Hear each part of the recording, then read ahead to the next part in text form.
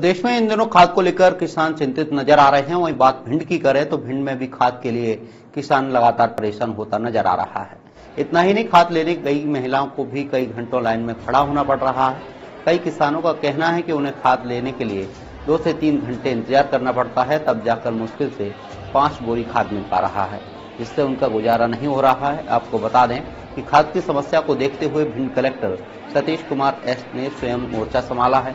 जहाँ छोटे बड़े किसानों को ज़रूरत अनुसार पर्याप्त मात्रा में खाद दिलाने के लिए टोकन सिस्टम चालू कराया गया है। इस पर कलेक्टर सतीश कुमार एस ने कहा कि टोकन सिस्टम चालू होने के बाद निश्चित ही खाद की समस्या से किसानों को निजात मिलेगी।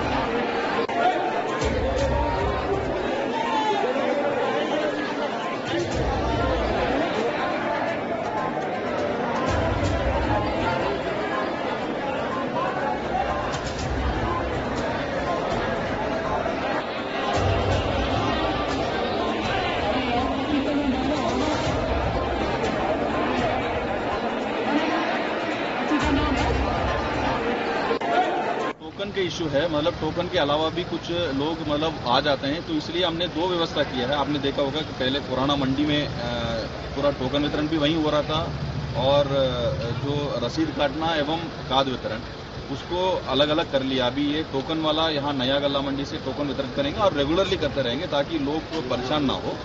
मतलब रोज जितना लोग आ रहे हैं तो उनको टोकन वितरित हो गया, कोई ना कोई डेट मिल जाए। इतना ही है, हम किसान से यह आग्रह कर रहे हैं कि उस डेट उस, जिस दिनांक को टोकन आपको दिया गया है, उस डेट में पुराना गल्ला मंडी में आ जाएँगे।